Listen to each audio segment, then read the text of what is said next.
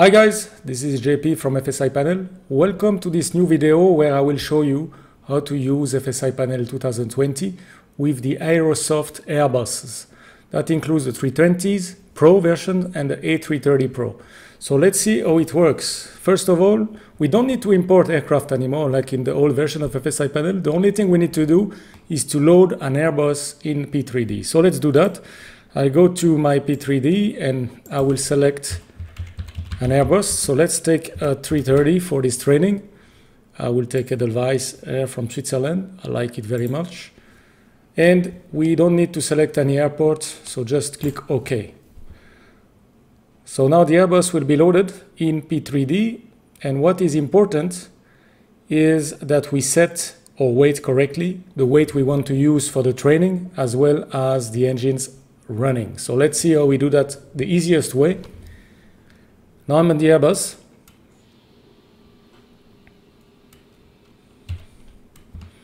All right, you can see on the Airbus, best way to do that, I go to the aircraft state here and select takeoff state.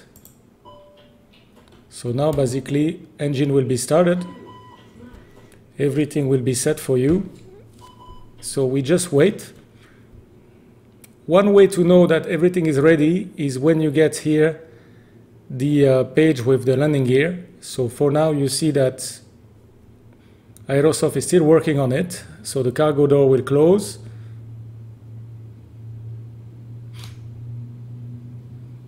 Yes, still not ready yet. Flaps not in takeoff. And when it's ready, you will get here the page will change. In the meantime, what we can do, now that it's almost ready, we can go, okay, now you see the, the, the screen is ready. What we can do now is set the aircraft weight. So to do that, what I do is I go to the uh, options and we have, sorry, it was not in options. This is on the load fuel, sorry, yes. And we select number of passengers. Let's say we have 220 passengers. I want a cargo of five tons. Fuel, let's take eight tons of fuel and I will click on instant load. All right, so now the aircraft is loaded exactly as we want. We have the gross weight indicated. So everything is good. We are ready to go and fly. So let me close those screens. Okay, so basically now the Airbus is in a position ready to fly with FSI panel. So let's go to FSI panel and we can select any airport we want. So here I will keep this one for the first landing. This is the one where we are right now, which is in the US. Let's select the vectors, for example. We're going to be left-hand vectors, and we are ready to fly. So let's click on Move Aircraft, and let's see what happens.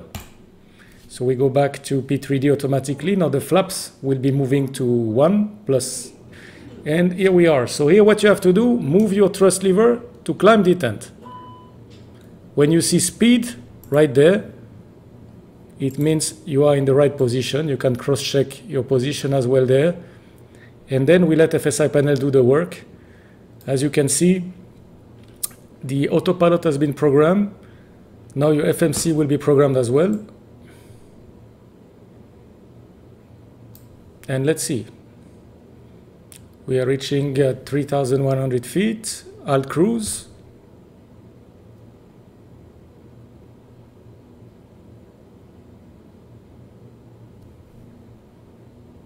and hold your brake for two seconds to take control. So now basically we are ready to fly. To so to take control, I hold the brake two seconds and I have the control. I can arm approach, put the second autopilot and we are ready to fly this approach. So this is the way you fly with the Airbus. Let's see now we want to do a final approach. So again, I go back to FSI panel. Let me show you the setup options of this aircraft. If we go to setup, and we go to Aerosoft, we can see the auto brake setting. You can select off, low, or medium. And we can select the default landing flaps within full, sorry, which is the default of flaps 3. And do you want the after landing flow to be done once you land? This feature is very nice once you land and you vacate the runway and your speed is less than 30 knots. the FSI panel will be doing the after landing flow. So let's try now to move to Europe. We can go to Zurich on runway 14 on short final. And we are going to move the aircraft. So now we are moving completely to somewhere else. Let's see what happened. Don't worry about the uh, master warning. We just wait and see what happened. It will take around 30 seconds and you'll be ready to fly. We should be on short final in Zurich, so let's see. I see the heading, alt cruise. Aircraft is coming down to 2,400 feet.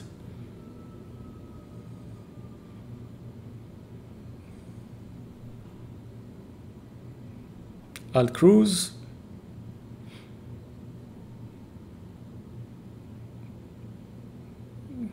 Is my runway in front of me? Yes, perfect. The runway is in front of me. Let's have a look at the configurations. We have flaps full. We have the landing memo all green. And we will get the message any second here to take over control. All right, engines pulling up. Aircraft ready for your training. Hold your brake two seconds to take over control. So I'm gonna do that.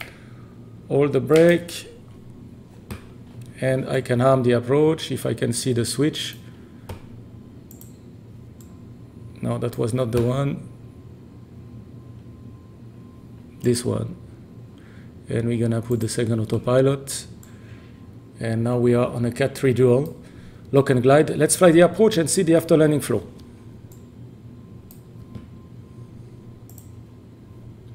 speed managed.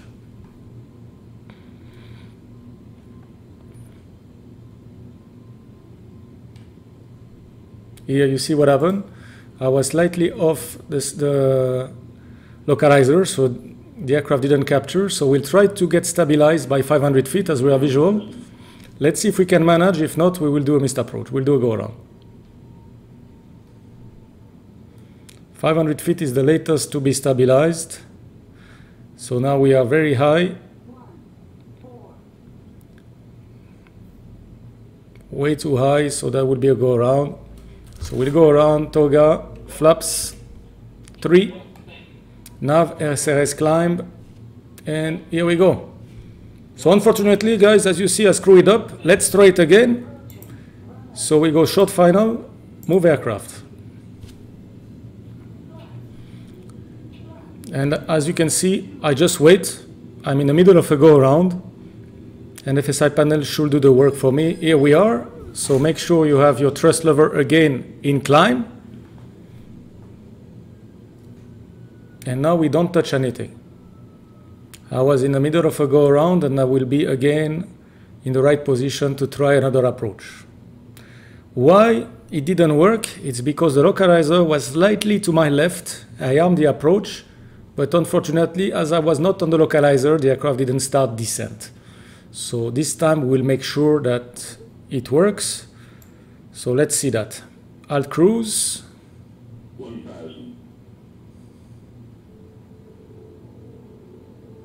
Soon we'll get the control.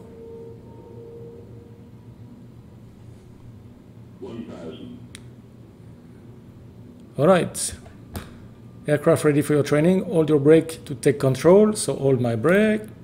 I have control. Let's arm the approach. Put the second autopilot. And this time I will just move my heading a little bit to the left to make sure we intercept here the localizer. Now localizer is captured. So the glide slope will come as well. Glide slope is there. Glide slope will get captured. Glide slope star, let's miss approach altitude 4,000 feet. And we are ready for the landing. So let's do the landing and see the after landing flow.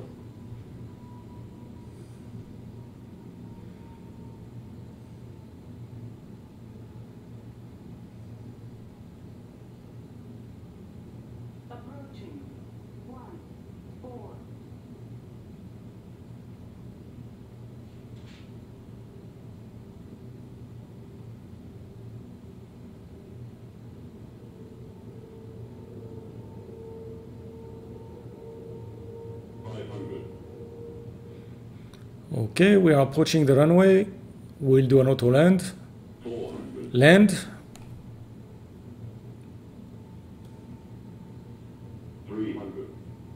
300 feet, all good.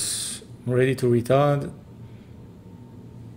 Let's see how this uh, A330 is performing on the auto land.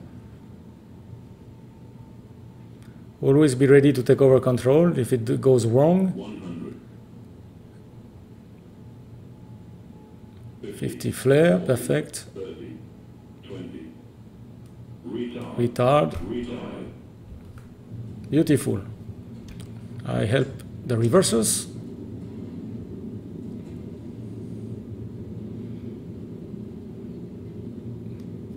I will take manual braking. We try to exit via the first right, idle reversers, and now we will see what happened with the after landing flow. So I just landed. I get here my quick landing summary. The full landing report is available in the FSI panel. We'll see it in a minute. Now make sure your speed is below 30 knots. As you can see now, I'm still fast. 33 knots, 32 knots. So you must be below 30 knots for the feature to work. I'm talking about the after landing flow. So vacate the runway and now we make sure we are below 30 knots and we just retract one step of flaps. That's it. And now your first officer is doing it for you while you can taxi the plane. So you see I'm taxiing the plane and I can see that my flaps are retracted and my APU should be on the way to be started. So now we just let it to the first officer to do the after landing flow. Basically, we can concentrate on our taxi. Alright guys, I hope you like this video. This is the way to fly the Airbus of Aerosoft, any kind of Airbus, the 320, the 330s, you just have to make sure that you put your thrust lever to climb and you just wait until everything is set up. You can use manage speed as soon as you have control is no problem and uh, it she flies very well. So thank you for watching and as always happy landing, fly safe. See you soon.